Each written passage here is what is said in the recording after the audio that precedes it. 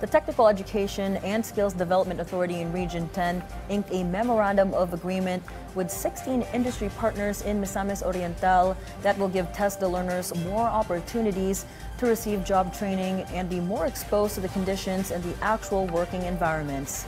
John Aranya of PIA Region 10 has more. To further enhance the competency of the technical vocational education training learners in Misamis Oriental, the Technical Education and Skills Development Authority Region 10 inks a memorandum of agreement with 26 industry partners to allow learners exposure to various working industry environments and on-the-job training.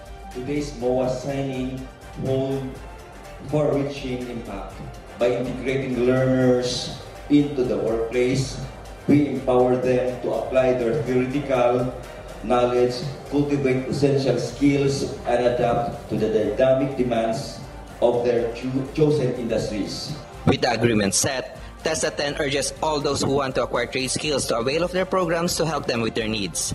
They also encourage the learner to think about the allowances and toolkits that they may receive after their course completion and positive gains such as employment or business.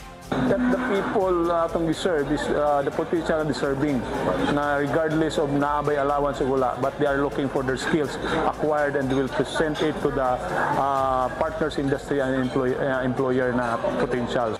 TESDA 10 guarantees the public that they will stay true to their mandate and continue to hone their TVET learner skills. John Aranya, Philippine Information Agency Region 10, for the nation.